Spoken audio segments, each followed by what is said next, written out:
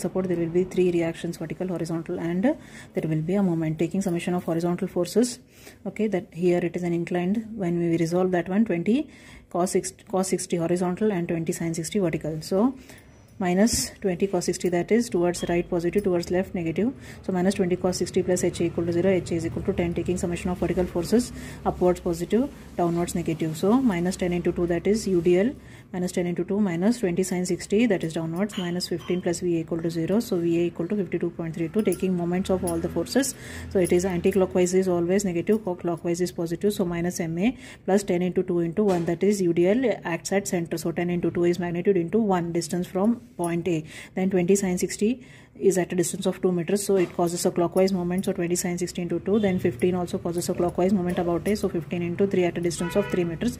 So while solving, we get MA equal to 99.64 kilonewton per meter, kilonewton meter. Okay, thank you.